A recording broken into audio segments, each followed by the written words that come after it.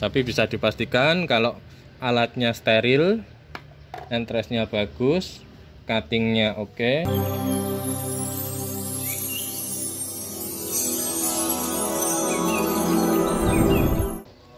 Oke, assalamualaikum warahmatullahi wabarakatuh. Kembali lagi dengan channel Ayo Tanam.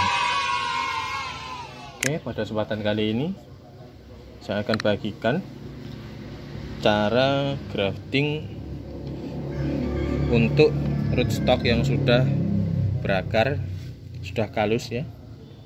Kalus, berakar, atas bawah ya. Seperti ini. Nah, ini sudah kalus, sudah berakar. Kemudian ini ada tunas. Di sini. Tunas ini bagusnya dibuang apa enggak? Ya, nanti akan kita bahas. Nah, yang pasti untuk keberhasilan teknik grafting harus kita persiapkan dulu semaksimal mungkin. Pertama, untuk stok seperti ini ya.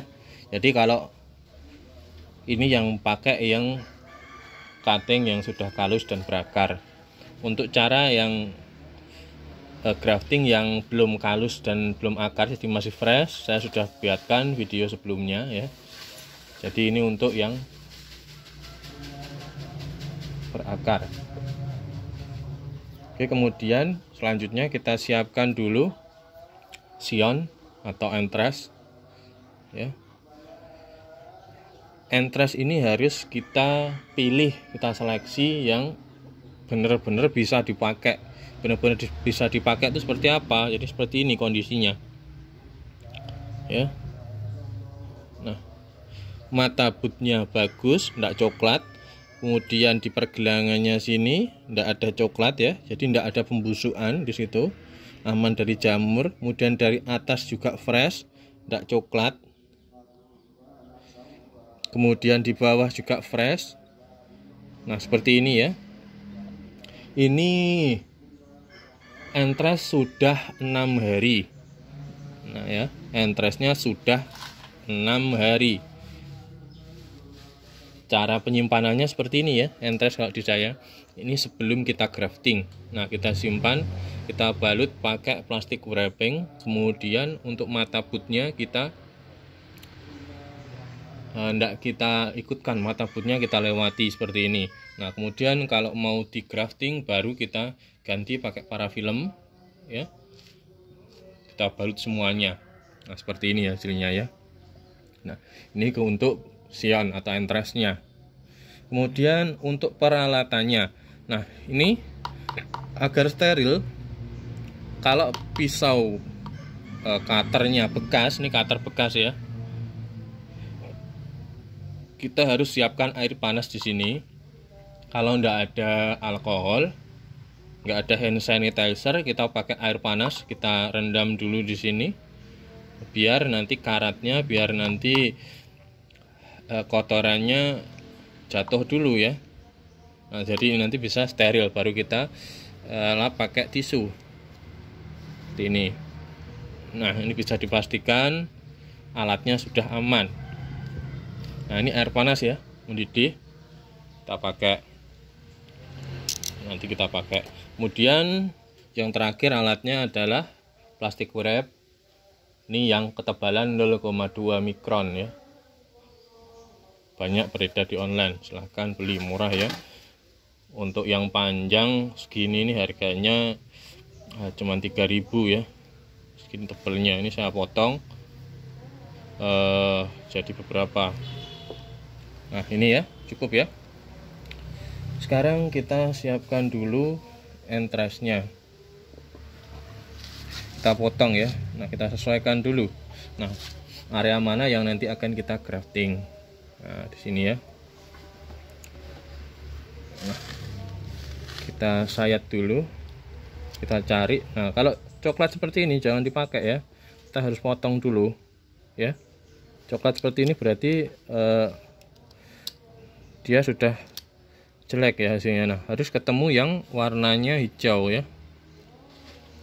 Jadi ketemu yang warnanya hijau keputihan gini ya.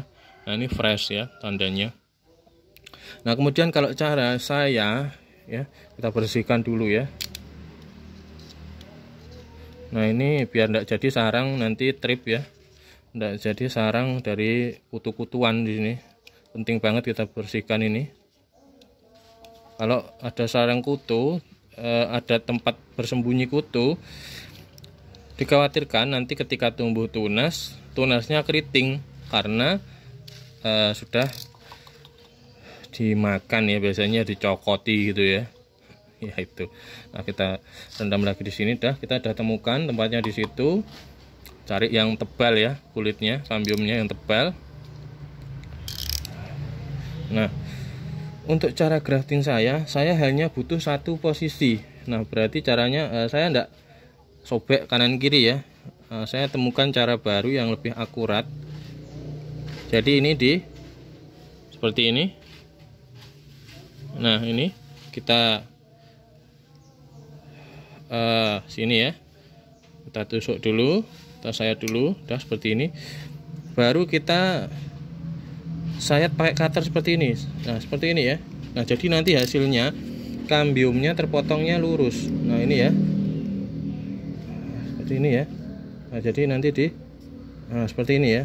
Srit gitu ya. Nah jadi ketika kepotong nanti hasilnya dia lurus. Nah seperti ini. Nah kambiumnya enggak eh, bagian dalam itu ndak apa ya ndak bengkok gitu ya. Nah, coba nanti kita uh, kasih situ ya. Sekarang untuk entrasnya dulu. Dan saya selalu usahakan pisau steril ya kalau misalkan kita punya stok yang sedikit ya kalau stok kita melimpah mau coba-coba agak mari silahkan. Tapi itu nanti akan eh, buang-buang e, waktu dan tenaga. Usahakan sekali jalan ya hasilnya maksimal gitu ya. Buka aja nanti biar tidak ngotori cutter ya. Nah, nanti kalau langsung kita sayat di sini biasanya lengket di cutter hasilnya saya tanya tidak bagus nah, ini kita buka dulu.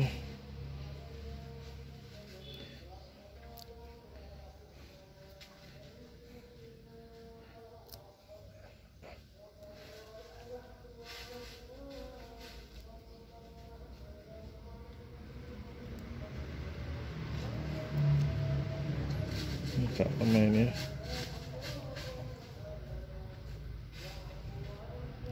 Nah ini sudah buka ya ini memang saya proteksinya agak lebih ya karena ini untuk varian yang lumayan ya. ini heliodor saya sebelumnya belum punya. Belinya juga lumayan mahal ini ya. Di satu entres satu mata tunas. Saya beli 5 ribuan ya. Jadi 25.000 dapat 6 kemarin belinya di situ nah seperti ini kita buka dulu.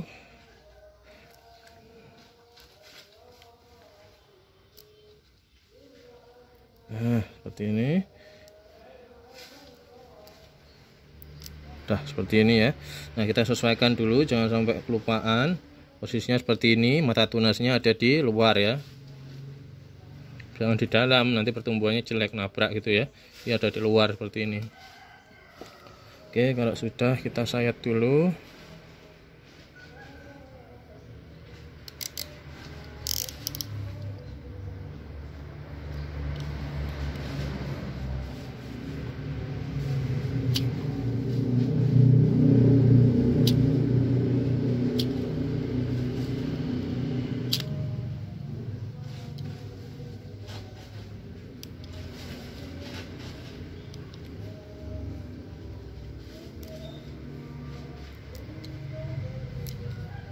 nah seperti ini ya. Nah hasilnya seperti ini. Oke ya. Sekarang kita pasang di sini. Nah ini ya yang saya katakan tadi ketika dia lurus maka hasilnya seperti ini. Hmm, ini ya. Nah jadi bisa nempel dengan sempurna. Kalau hasil saya tanya tadi lurus gini tapi kalau kita set kotak seperti ini dia nanti hanya akan masuk. Belum tentu kambiumnya nempel. Itu ya. Yang penting nempel satu bagian aja enggak usah dua-duanya. Dah kalau sudah tinggal kita balut pakai plastik wrapping. Pelan saja. Jadi intinya di uh, plastik wrap 2-3 kali ya. Usahakan atasnya tertutup. Nah jadi kalau uh, sudah kalus tidak perlu khawatir dia nanti keluar getah.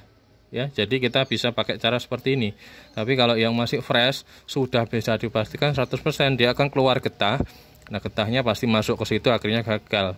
Tapi kalau sudah kalus ini nggak akan keluar getah. Jadi kita tutup saja aman ya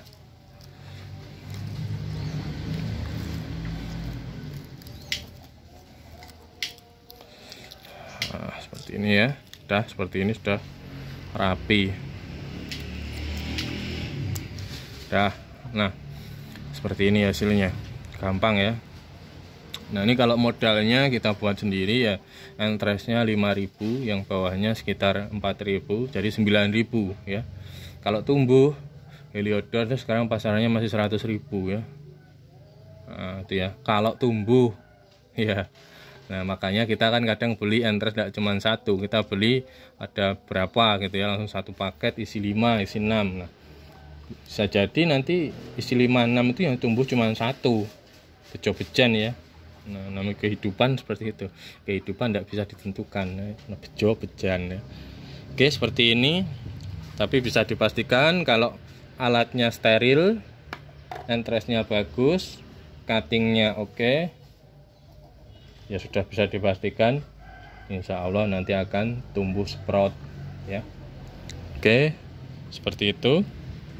Ada pertanyaan silahkan tulis di komen komentar saya Assalamualaikum warahmatullahi wabarakatuh. Salam ayo tanam